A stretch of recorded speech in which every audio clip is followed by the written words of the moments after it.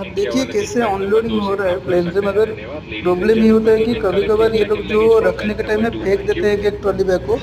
जिसके चलते छोटा छोटा जो टायर होता है बैग में वो टूट जाता है मेरा एक दोस्त के साथ ये हुआ था उसका टायर टूट गया था और स्क्रैचेस भी बहुत हो जाता है